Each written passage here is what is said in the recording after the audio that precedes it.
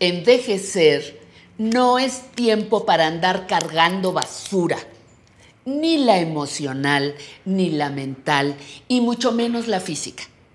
Es el momento de caminar ligero, de elegir, de decidir y cultivar nuestras mejores emociones. Pero, ¿qué hacer con las emociones tóxicas?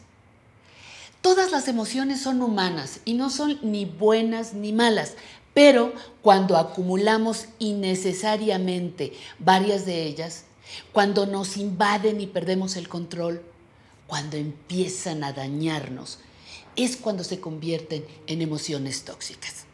Entonces hay que identificarlas, trabajar para cambiarlas y si no podemos, pedir ayuda, ayuda profesional. Y aquí se incluyen, además de las emociones, las relaciones tóxicas, las destructivas y maltratadoras, las que nos violentan. El rencor, el dolor, los resentimientos, los duelos no resueltos pesan más en la vejez, nos hacen infelices, alteran nuestra conducta y nuestra percepción del mundo también afectan a quienes nos rodean y a muchos de esos que decimos querer. Se puede cambiar si queremos. Podemos sanar las heridas emocionales si queremos y trabajamos en ello. Podemos renacer si queremos, pero tenemos que trabajar intensamente en nuestro bienestar. Muchas personas adultas mayores que hoy pasan de los 70 a 80 años, en un buen número de casos, crecieron con ideas que hoy pueden hacerles daño. Por ejemplo, una idea que no funciona. Los hombres no lloran.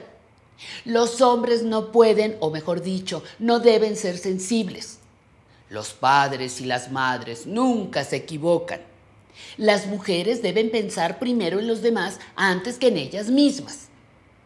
Estas y otras ideas semejantes moldearon el pensamiento de muchas generaciones. Las sostuvieron, pero hoy ya no son tan saludables como se pensó. Así como hay investigaciones y avances en la tecnología, la psicología, la psiquiatría, las ciencias de la conducta humana también han evolucionado y aportado puntos de vista que mejoran nuestra calidad de vida. Así que algunos estereotipos del deber ser masculino y femenino dejan de tener vigencia. Y así como podemos hacer una gran limpieza en casa y reciclar o tirar todas las cosas acumuladas o que ya no sirven, habrá que desechar las ideas que ya no nos funcionan, las que no nos permiten evolucionar.